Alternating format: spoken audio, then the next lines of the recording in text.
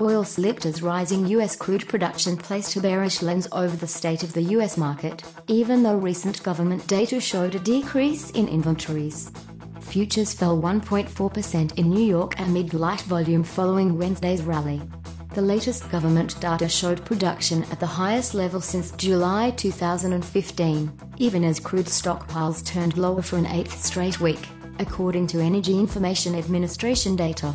Meanwhile, Tropical Storm Harvey is expected to strengthen and become the first hurricane to strike Texas since 2008, sending gasoline crack spreads higher.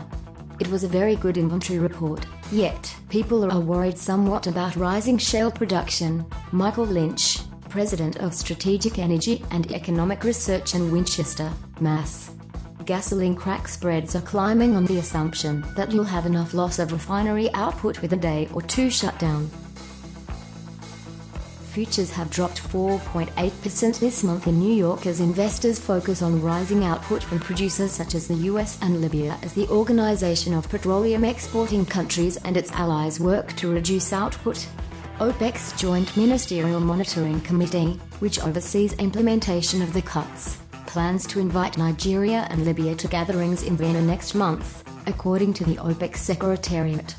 West Texas Intermediate for October delivery declined 66 cents to $47.75 slash barrel at 10.03 a.m. on the New York Mercantile Exchange.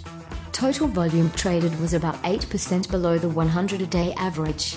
Prices gained 58 cents, or 1.2%, to $48.41 on Wednesday. Brent for October settlement fell 45 cents to $52.12 slash barrel on the London-based ICE Futures Europe exchange. Prices climbed 70 cents to $52.57 on Wednesday.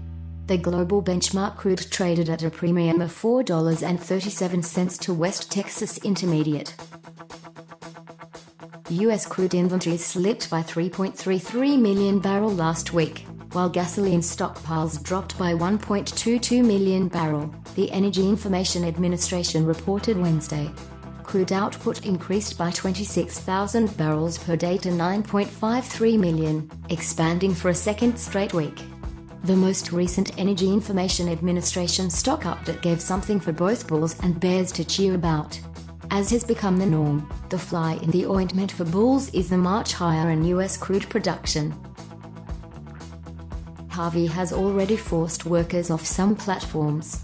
Royal Dutch Shell plc shut production at its Perdido platform in the Gulf of Mexico and evacuated the facility, while Anadarko Petroleum Corporation shut in production and also evacuated personnel at several oil and gas production platforms. The gasoline crack spread, a rough measure of the profit from refining crude into gasoline, climbed as much as 8.4% to $17.09 slash barrel.